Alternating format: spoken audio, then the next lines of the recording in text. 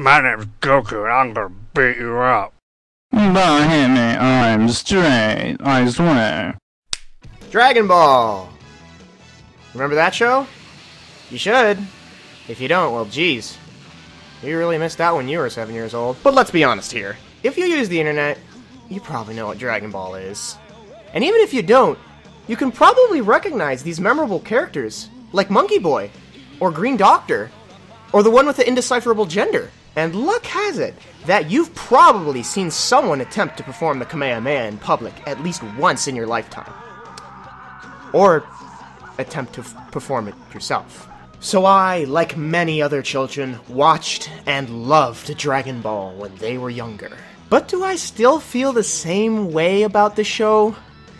Eh, not so much. I'd say that I'm not really a fan of Dragon Ball anymore, but that I don't hate it either. It's fine. Mostly because the fan base is generally associated with colored men who have autism, but also because you can correlate these same people to be rabid fans of things like Naruto and Sonic, My Little Pony, Five Nights at Freddy's. Alright, so if you've ever played a Dragon Ball game before, and I have, you know what you're in for. Smash the face buttons, fly around, punch your opponent, do some energy blasts. That's been the formula for these games for years. Nothing has ever really changed all that much. Sometimes for the better, and sometimes for the absolute worst. And I don't think I've ever been interested or excited in a Dragon Ball game in my life. And that really hasn't changed over the years, but when I borrowed a copy of the game from my friend and I gave it a whirl, I was actually pleasantly surprised, which in turn resulted in my actual purchase of the game.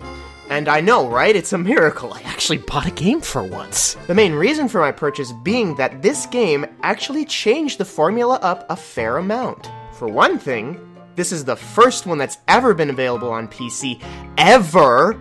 And if it hadn't have been, I wouldn't have purchased it in the first place.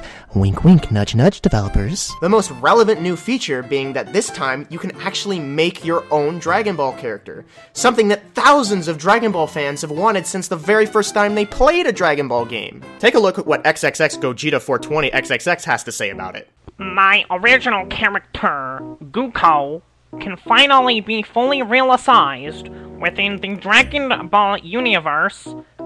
This is the greatest game ever.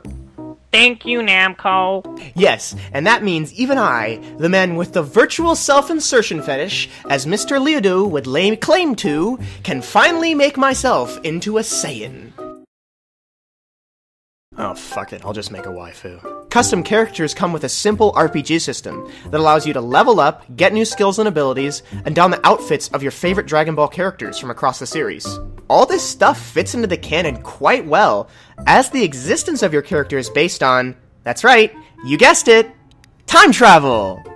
And it makes about as much sense as anything written in the Book of Mormon. But story isn't what you're here for. You're here because you want to beat up Vegeta, Frieza, Cell, Boo, and even Bill as your unique OC Dragon Ball character. And you can even make MLG montage parodies out of it too. Damn, son.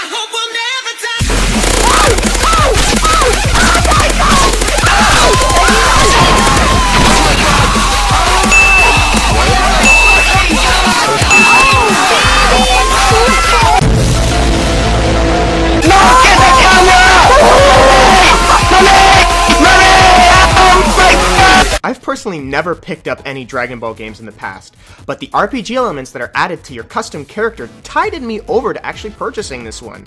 And the fact that you can play in co op with two of your friends, while albeit only in specific missions, not the story missions. Not to mention the huge roster of playable Dragon Ball characters, old and new. And this moves into the negatives I have about the game. While the character roster is huge, it is missing some characters that have been in previous games in the past. A somewhat more prominent issue, though, is that the servers are constantly crashing. In fact, the servers have been down almost the entire time I've been making this video.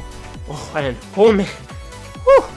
the camera in this game, it can be a pain in the ass to manage at some points.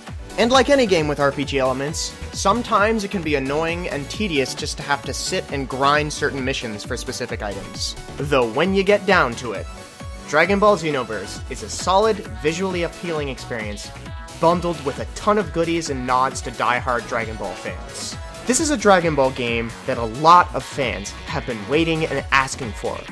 And while it's nowhere near being the perfect Dragon Ball game in any aspect, it delivers at being an enjoyable and fun experience for newcomers and Dragon Ball fans alike.